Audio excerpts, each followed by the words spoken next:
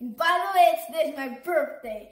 Guess what? I'm 10 today. Yay! So I'll be doing a review of one of the books I've read. Trust me, I've read over a hundred books because I love reading. Please, please, please subscribe to my channel, hit the like button, and don't forget to share. The title of the book I'll be reviewing is called Awkward by Svetlana Chmakova. Please note, everything I say is totally my opinion, and it's not an attempt to discredit the author. Let's start now.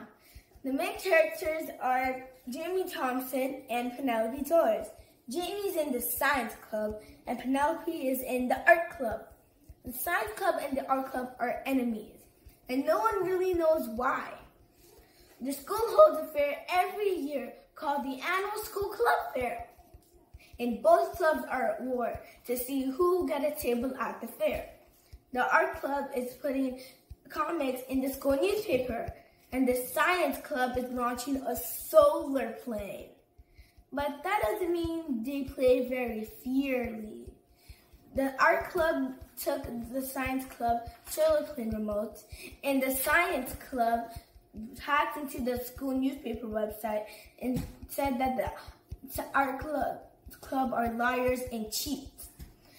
Now the principal has had enough.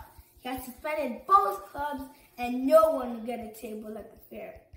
So then Jamie and Penelope think of a way to get to collide the clubs.